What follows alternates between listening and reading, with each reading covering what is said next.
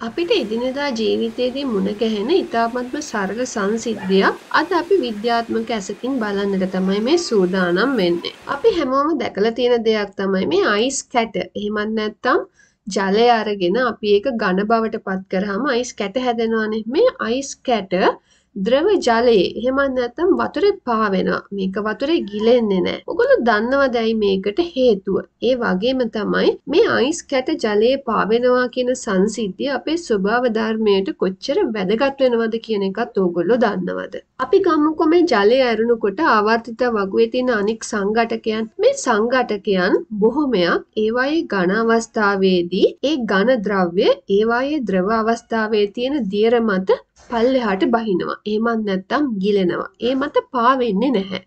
එහෙමනම් ඇයි ජලයේදී විතරක් මේක වෙනස් විදිහකට හැසිරෙන්නේ. අපි හැමෝම දන්න දෙයක් තමයි මේ ජල අණුවක් සමන්විත වෙන්නේ හයිඩ්‍රජන් සහ ඔක්සිජන් කියන පරමාණු වලින්.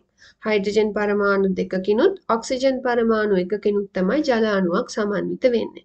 එතකොට මේ ජල අණුව සාමාන්‍ය පරිසර තත්ත්වය යටතේදී එහෙනම් සාමාන්‍යයෙන් පරිසර උෂ්ණත්වයට හෝ ඊට අධික උෂ්ණත්වයක් තියෙන වෙලාවකදී මේ ජල අණුවට යම්කිසි වූ චාලක ශක්තියක් තියෙනවා.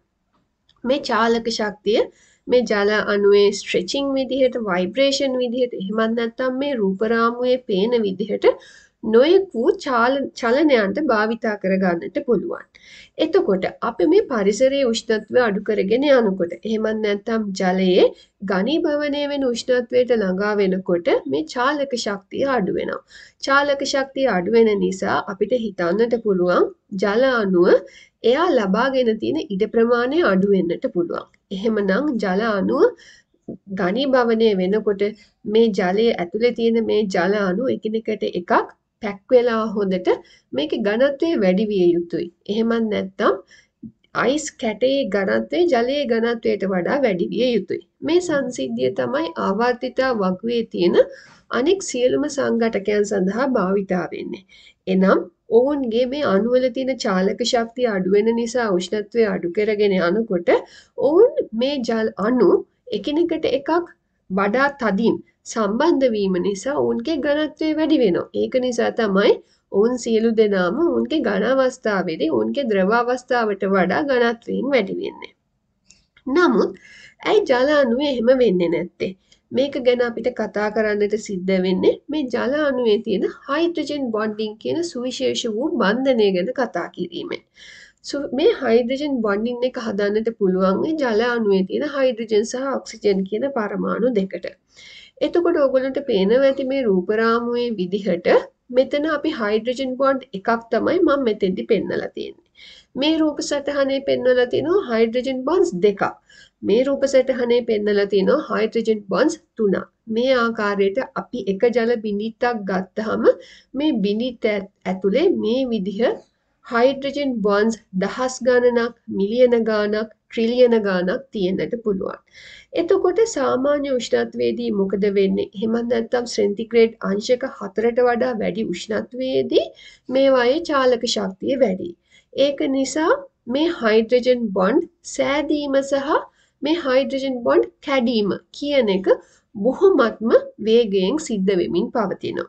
ඒ කියන්නේ පද්ධතිය සමතුලිත අවස්ථාවක් ගත්තහම මේ ජල අණු වල හයිඩ්‍රජන් බොන්ඩ් සෑදීම සහ මේ හයිඩ්‍රජන් බොන්ඩ් කැඩීම කියන එක එකවර විශාල ප්‍රමාණයෙන් සිද්ධ වෙමින් පවතිනවා. නමුත් අපි පද්ධතියේ උෂ්ණත්වය සෙන්ටිග්‍රේඩ් 4ට වඩා අඩු වෙනකොට බොහොම සුවිශේෂ වූ සංසිද්ධියක් සිද්ධ වෙනවා. ඒක තමයි මේ ජල අණු වල චාලක ශක්තිය හයිඩ්‍රජන් බොන්ඩ් සෑදීමේ ශක්තියට වඩා අඩු වෙනවා. එහෙනම් මෙතෙන්දි මොකද වෙන්නේ සෙන්ටිග්‍රේඩ් 4ට වඩා උෂ්ණත්වය අඩු වෙනකොට මේ පද්ධතියේ ජල අණු එහෙමත් නැත්නම් මේ ජල අණුවල හයිඩ්‍රජන් බොන්ඩ් සෑදීමේ හැකියාව සාපේක්ෂව වැඩි. මේ හයිඩ්‍රජන් බොන්ඩ් එකක් හැදෙනවා කියලා කියන්නේ හයිඩ්‍රජන් බන්ධනයක් හැදෙනවා කියලා කියන්නේ ඒක බොහොම ලස්සන ව්‍යුහයක් මේ ජල අණුවලට ලබා දෙනවා. අපි අයිස් කැටයක් අරගෙන මේ අයිස් කැටය අන්වීක්ෂයක් තුළින් බැලුවොතින් ඔගුල සමහරක් විට ඔගොලන්ට දැක බලා ගන්නට හැකිවේවි බොහොම ලස්සන ස්පටික ආකාරයකින් මේ බන්ධනයන් නිසා මේ ජල අණු සකස් වෙලා තියෙන විදිහ අපිට බලා ගන්නට පුළුවන්. ගොඩක් වෙලාවට මේ ජල අණු සකස් වෙන්නේ ෂඩ්පාදයන් සහිත හෙක්සගන ව්‍යුහයක් විදිහට. එතකොට මේ හෙක්සගනල් ව්‍යුහය එහෙමත් නැත්නම් මේ ස්පටික ස්වරූපය ගත්තහම මේ ස්පටිකයක ඝනත්වය සාමාන්‍යයෙන් දියර අවස්ථාවේ තියෙනවට වඩා මෙයාගේ ඝනත්වය අඩුයි. මොකද එයා යම්කිසි රටාවකට සකස් වෙලා තියෙන නිසා. මෙන්න මේක නිසා තමයි ජලය ඝනීභවනය වුණහම එහි ඝනත්වය අඩු වෙන්නේ. ඝනත්වය අඩු ඕනම ද්‍රව්‍යයක් අපි දන්නවා එයාගේ තියෙන ද්‍රවයක් උඩ පාවෙනවා. එහෙමනම් ඔන්න අපි එකට විද්‍යාත්මක හේතුවක් දුන්නා. ඊළඟට අපි කතා කරමු මේ ජලයේ තියෙන සුවිශේෂී ගුණය. එහෙමත් නැත්නම් ඝනීභවනය වුණාම වතුරේ පාවෙන ගුණාංගය ඇයි ස්වභාව ධර්මයට වැදගත් වෙන්නේ කියලා. මේ බලන්නකෝ. පෘථිවිය ගත්තොතින් පෘථිවිය සර්ෆස් එකෙන් 70%කටත් වඩා වඩා තියෙන්නේ සාගර ජලය. මේ සාගරය අපිට බොහොම ලස්සන වයිවර්ණ වූ බයලොජිකල් සිස්ටම් එකක් මේ පෘථිවියට ලබා දීලා තියෙනවා. අපි ගත්තොතින් ඉස්සෝ කකුළු විවිධ වූ මුහුදු පැලෑටි මුහුදු සත්වයින් මේ සියල්ලන්ම මුහුදයක් ඇතුලේ ජීවත් වෙන්නේ ඔවුන්ට සුදුසු පරිසරයක් තිබුණොතින් විතරයි. ජලය ඝනීභවනය වෙනකොට ඒක ජල තට්ටුව මත පා නොවි මේක ගිලුණනම් මොකද වෙන්නේ? මේ මුහුද ඇතුලේ ජීවත් වෙන. එහෙමත් නැත්නම් ජලය ඇතුලේ ජීවත් වෙන ජීවීන්ට ඔවුන්ට ජීවත් වීමට සුදුසු පරිසරයක් ලැබෙන්නේ නැහැ. ඒක නිසා මේ මුහුදු ජලය එහෙමත් නැත්නම් පෘථුවියේ තියෙන ජලය ද්‍රව තත්වයේ පවත්වා ගන්නට අවශ්‍ය නම් අනිවාර්යයෙන්ම මේ ජලය ඝනීභවනය වෙනකොට උඩ ස්තරය විතරයි ඝනීභවනය විය යුත්තේ. එහෙමත් නැත්නම් ඝනීභවනය වුණාම ඒ අයිස් උඩ පාවෙන්නට ඕනේ. එහෙම පා නොවුනොතින් ගැඹුරු ජලයේ ජලය ජලය විදිහට නොපවතින නිසා ජීවීන්ට ජීවත් වීමට සුදුසු පරිසරයක් ලැබෙන්නේ නැහැ.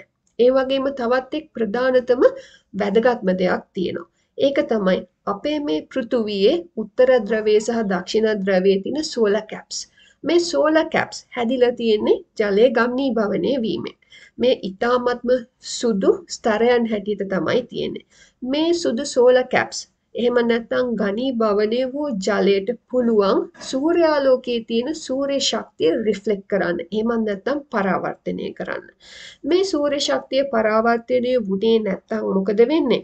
මේ සූර්යාගේ තියෙන තාප ශක්තිය පෘථුවියට අවශෝෂණය වෙලා පෘථුවිය බේක් වෙන්න. එහෙමත් නැත්නම් උදුනක් බවට පත්වේවි. ඒක මුළු පරිසර පද්ධතියටම හානිකර තත්ත්වයක් උදා කරන්නට පුළුවන්.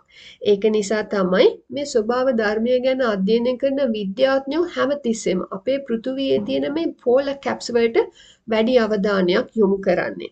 මිනිසුන්ගෙන් මිනිසුන්ගේ ක්‍රියාකාරකම් නිසා වායුගෝලයට එකතු වෙන විවිධාකාර වූ ගෑස් එහෙමත් නැත්නම් වායු නිසා පරිසරයේ උෂ්ණත්වය වැඩිවීමෙන් මේ සෝල කැප්ස් වලට හානියක් සිද්ධ වුණොතින් මේ සෝල කැප්ස් වලින් පෘථිවියට දෙන ආරක්ෂාව නැති වේවි. ඒ වගේම තමයි ස්වභාව ධර්මය මේ විදිහට හයිඩ්‍රජන් බොන්ඩ් කියන එක වතුරට ලබා නොදී තිබුණා නම් මේ ජලය ඝනීභවනය වෙන වෙලාවේදී ඒක වතුර මත පා නොවුනා නම් මේ සෝලර් කැප්ස් අපිට නැති වේවි. මේ සෝලර් කැප්ස් තියෙන හින්දා තමයි අපේ පෘථිවියේ උෂ්ණත්වය රෙගියුලේට් කරගෙන තියාගෙන ඉන්නේ. එහෙනම් මං හිතනවා ඕගොල්ලන්ට බොහොම සරල අවබෝධයක් ලබා ගන්නට පුළුවන් වෙන්නට ඇති කියලා.